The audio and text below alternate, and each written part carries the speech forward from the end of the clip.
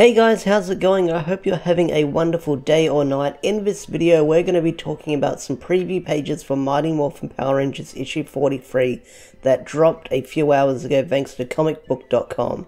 Now, if you don't want to be spoiled by these preview pages, I suggest you click away from this video and find something else on my channel to watch. If you're new for the very first time and you're only just discovering this channel, I suggest you hit the subscribe button for more Power Rangers content. But for those who want to be spoiled by these preview pages, let's get right into it. So these preview pages mostly focus on the outcome of the cliffhanger we had last month where the Rangers were facing off with Dayne and just like I said, Dayne is very dangerous. He's not one to take lightly because he easily takes care of the Rangers in a few pages. The first one he takes out is Kimberly. He basically pins her down and stomps on her foot, breaking her thumb, which is freaking brutal to do, breaking her thumb, but it's a good way to do it because she does use her um, crossbow, not a crossbow, her bow, bow and arrow, power bow, um, yeah, power bow.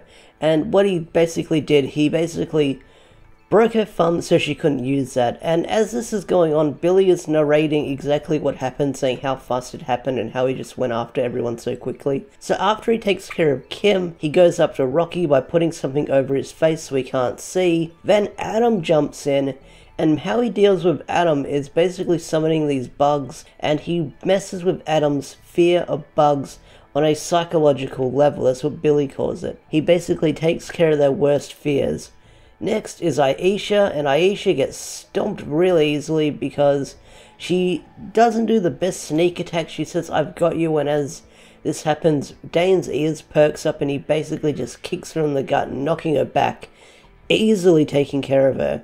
Then after that, Dayne quickly takes out Billy and Kimberly, knocking them down, and basically Dayne's plan is to get close to Tommy. He wants to get rid of the five rangers so we can get close to Tommy, and even Tommy isn't a match for Dayne because Dayne is even prepared for Tommy.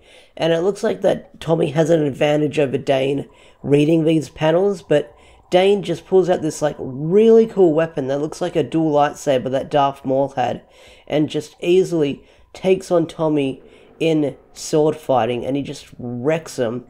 And after that, he like Dayne is so prepared. If you read these preview pages, like he's so freaking pre- prepared because Tommy gets sub and he's like, "All right, we're gonna use a full power attack of your little laser beam. Get ready, Saba."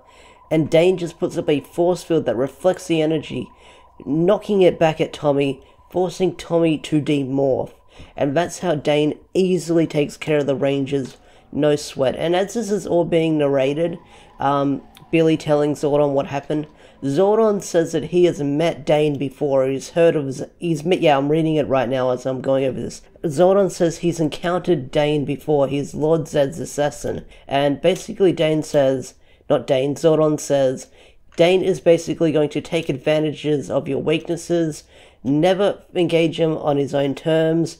Just be careful out there because Dayne left you all, all, all alive, if Dayne left you all alive, he did it for a reason. And I get the feeling that Dayne left the Rangers all alive. The reason for is making them have this loss, making them learn that they are unable to defeat a person like Dayne who's going to mess with them on a psychological level, thinking they're not ready for whatever's out there. Which sounds weird, but it does make sense. I mean, how else would you deal with, like, the Rangers. I mean, he didn't kill him, he left him alive. So I get the feeling he wants to leave the taste of defeat in their mouth so next time they're not ready. And basically, Dayne, he freaking took him out on levels they weren't ready for, like messing with their fears, messing with their weaknesses, and stuff like that. Like, Dayne was very prepared for this fight. So yeah, Dayne is very powerful and not one to be taken lightly because if you were underestimating this character or just sleeping on this guy, you were wrong. You were very, very wrong because I am wondering how are they going to defeat Dayne if he knows all their weaknesses? The Rangers are going to have to come up with a brand new strategy to defeat him. Now, a lot of people are predicting that the Omega Rangers will jump in into the fight and save them. That's a strong possibility, but I get the feeling Dayne is going to get defeated by Tommy or all the Rangers put together, all six of the Rangers put together to defeat them. by overcoming them with teamwork and working as one unity. That's how they're going to defeat Dayne. Because if they all do separate attacks and they try doing their own strategies, that's how they're going to get defeated. So I get the feeling that all the Rangers are going to have to work together in one swift attack, like one motion of attacks, not just do separate attacks. Like you attack, then you attack, then you attack. I get the feeling there's going to be one big chain of attack that puts Dayne down and wears him out eventually for Tommy the fight in one on one. Anyway, guys, that's all there is to talk about with these preview pages. Special thanks to comicbook.com for putting them up on their site. I had a lot of fun reading them and going over them, just looking at these preview pages. Tell me what you guys think of Dayne in the comment section down below. I'd love to hear your thoughts on them. I'm going to wrap this up now. I'll see you guys later. Thank you so much for watching. Don't forget to leave a comment, leave a like, subscribe to the channel if you're new. Thanks for watching, and I'll see you guys around very soon. Peace out.